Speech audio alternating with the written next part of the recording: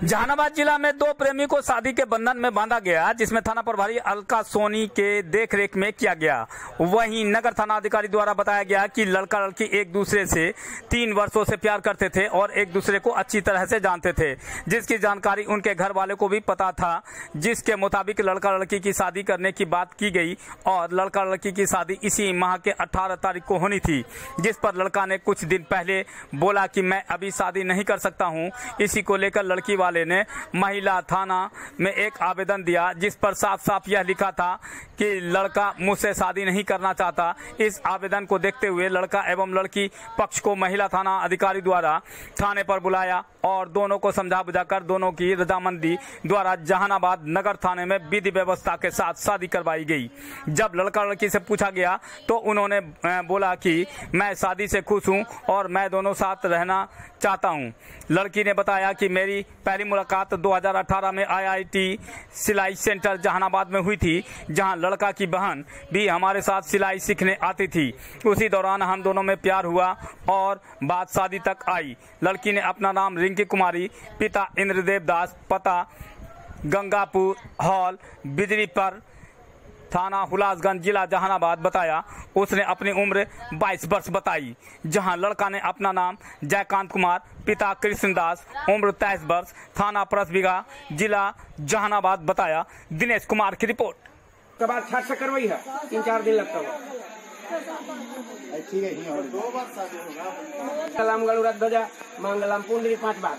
मंगलम भगवान विष्णु मंगलम गरुड़ ध्वजा मंगलम पुंडरी काक्षो मंगलायो तनो हरि। चलो अब कोई जनानी इनको पूरा नष्ट कर दीजिए। ठीक है थोड़ा सा मस्त कर ले बेटा। यार बना के बस खींचत तारू तू प्रेम बना के रहे के बना। शादी विवाह हो गइल त ले लो बेटा ये ले लो इस पर हाथ नीचे लगाओ है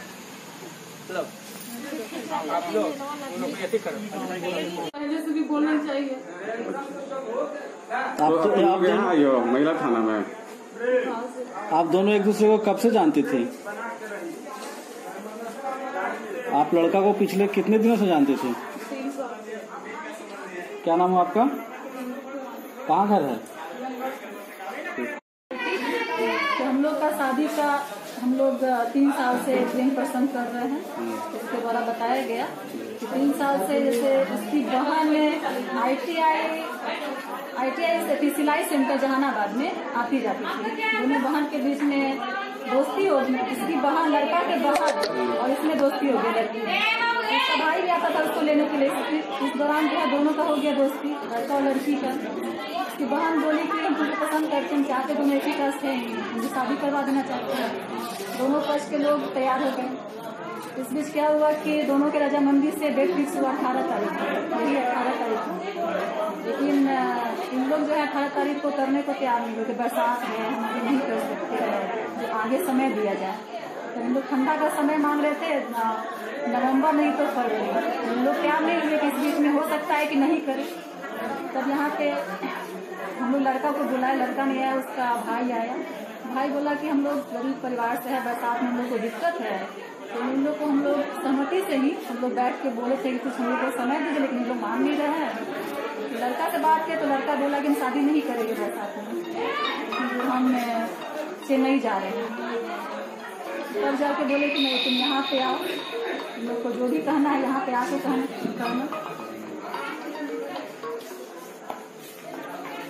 किस परिस्थिति में यहाँ पे शादी हुआ? क्या अपन लड़की वाले लड़का मतलब लग रहा था कि लड़का नहीं करेगा। अच्छा। बोल भी रहा था जैसे इससे बात किए तो बोला कि अभी नहीं आएगा चेन्नई जा रहे हैं। और हुआ कि अठारह तारीख को नहीं करेगा। और लड़की पक्ष का पूरा व्यवस्था हो गया है हम लोग का समाज जान गया है मेरे परिवार के लोग आ गए हैं। इस परिस्थिति में नहीं करता है तो तो क्या लड़के वाले आपके थाना में शिकायत लेकर के आए थे हाँ, क्या? आए थे। अच्छा। आप इन लोग को बुलाया गया था। अच्छा। फिर इन लोग को समझाया बुझाया उसके भाई को बोले कि अपने भाई को लेते आओ। पे तुम लोग मतलब आने के बाद फिर यही हम लोग बोले कि अठारह तारीख को जाके समाज के सामने तुम लोग का शादी कर लो। प्यार नहीं हुआ फिर लड़का पक्ष के तो लोग बोले कि नहीं हम लोग यही शादी कर लेते हैं। क्योंकि बरसात में वहाँ पर मेरा परिस्थिति ठीक नहीं नहीं कर सकते तब तो जाके हम लोग शादी कर लड़की जा रही है अपने उस उनके लड़के वाले सारे परिवार खुश हैं। चलिए ठीक।